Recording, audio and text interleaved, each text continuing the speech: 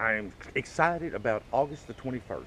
If you're not familiar with this, on August the 21st, somewhere around 1 10 20 uh, p.m., will be a total, total eclipse.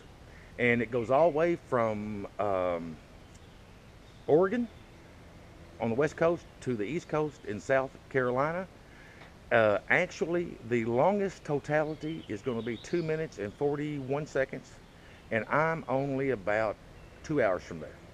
I didn't realize that it was going to be a total eclipse. I would have planned ahead. Every campground, every hotel, motel, everything is booked plumb across the nation on that line of totality.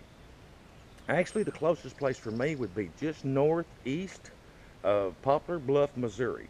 So if any of you, anywhere that live on the line of totality in southeast Missouri, in that area there, that have a place that I can park for two days, I'd like to get there a day early so I can set up all my cameras. I've got already uh, solar filters coming. I have a uh, 960 millimeter lens that fits on my uh, Canon uh, 70D.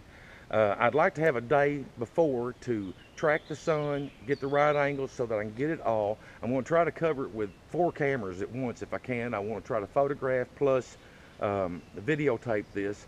Uh, it, it's going to be really a great event. I've seen partial eclipse before when I was a kid, but this one being complete totality, and let's hope it's not cloudy that day. But it's in August. That's a good chance for us here in Arkansas that it won't be cloudy you should be able to see the stars. So any of you out there that could help me out with that, I'd appreciate it.